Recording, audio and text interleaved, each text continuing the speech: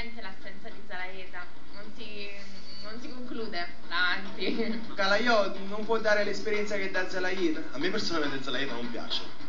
Un premio a fine stagione verrà anche dato a Zalaceta. Lo allora, perché un qua a settembre spero sia disponibile. Lo terrei anche per la sfortuna diciamo, che poi ha avuto. Eh, Dipende dalle aspirazioni che ci il Napoli l'anno prossimo. E forse puntiamo su Calaiò e riusciremo ad avere dei migliori risultati, speriamo. Poi Marino è bravo, valuterà lui la situazione. L'Avezzi l'unico problema è che Rea lo fa giocare un po' troppo dietro. Spostarsi un po' più avanti, con Magnini casomai sul tridente. Così facciamo un bel attacco.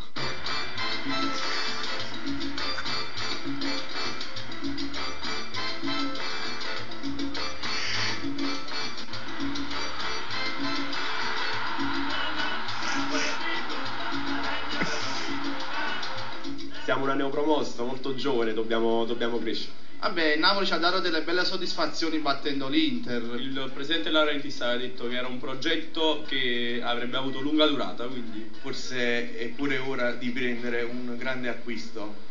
Beh, abbiamo fatto un buon campionato, sono soddisfatto. alla fine siamo partiti per la salvezza e continuiamo per la salvezza. Da tifoso siamo contentissimi di- della posizione che occupa adesso il Napoli.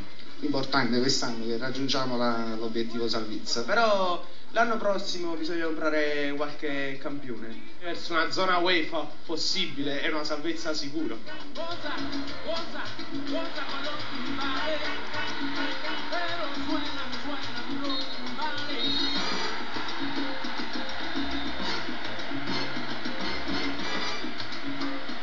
Napoli farà bene con la Fiorentina perché arriverà a carico da queste due sconfitte consecutive.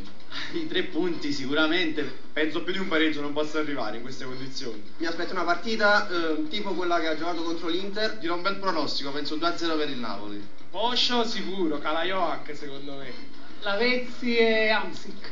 Lavezzi e Cavaiò. Lavezzi, diciamo stavolta, e anche Domizzi, ci si deve un po' rifare a questo punto qua. Cannavaro, che si è da fare perdonare dopo che le ultime partite non è stato, e Lavizzi, il poi ci vuole un gol. No, no, speriamo bene. Quanto? Perché i risultati 1-0 per il Napoli.